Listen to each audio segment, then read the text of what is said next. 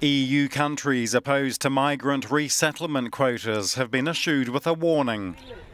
The European Commissioner for Migratory Issues has given Poland and Hungary one month to comply with the migrant relocation package or face legal action. At the moment, resettlement is way behind target, and some are calling for tough action.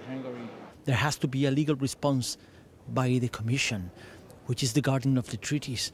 So sanctions must be imposed on member states which are simply lacking the political will to abide by the law. But one Hungarian MEP from Viktor Orban's party argues relocation is counterproductive. For them, the quota means they're allowed to come, because then they'll be relocated. It's an invitation for those hundreds of thousands of people, and also a chance for human traffickers to carry out more horrific acts, she says.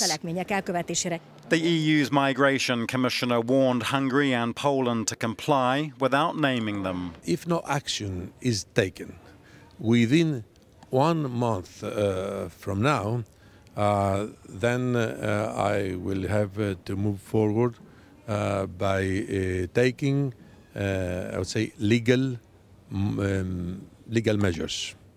But the Commissioner says he's still confident about meeting the target of relocating refugees from Greece and Italy.